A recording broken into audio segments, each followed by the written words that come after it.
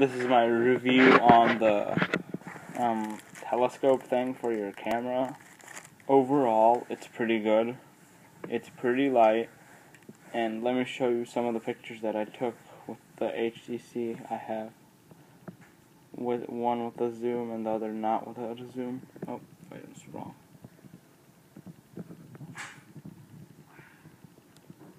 Click the camera. There we go. So that's without the zoom in the room, and then with the zoom, with the telescope on, without the telescope on. So really helps, and it's not really that heavy. It's quite light.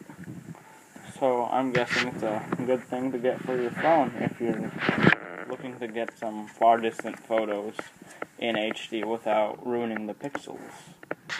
Thank you for watching and please subscribe.